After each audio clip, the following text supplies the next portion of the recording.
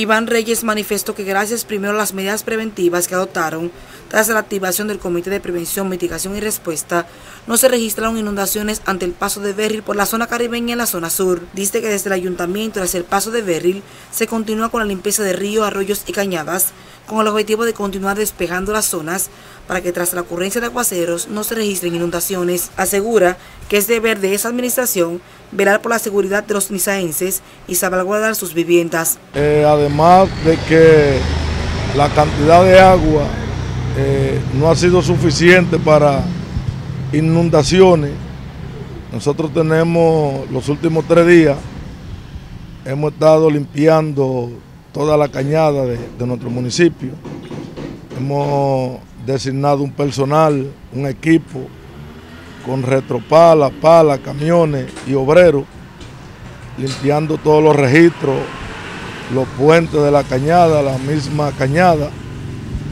Y realmente eso ha contribuido bastante de que el agua que ha, que ha caído no, no ha sido suficiente para inundaciones. Sobre una de las localidades que siempre ha sido afectada con las inundaciones ante la ocurrencia de aguaceros, que es la zona de la Cañada de la Pava, Iván Reyes detalló. Ya en el sector por donde está la bomba ahí, la Cañada de la Pava, que es un, un sector y un lugar eh, donde toda la vida eh, ahí se chocan la mayoría de la cañada del pueblo, terminan en en ese punto.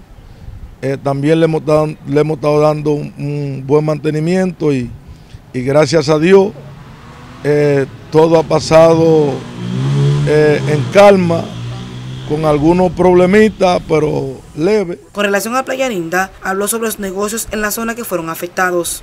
ya lo que tiene que ver con el área de la playa, algunos pequeños negocios que estaban ahí en Playa Linda fueron bastantemente eh, afectados, fueron muy afectados, pero gracias a Dios eh, nada que tenga que ver con pérdidas humanas y, y sino alguna pequeña pérdida materiales nada más.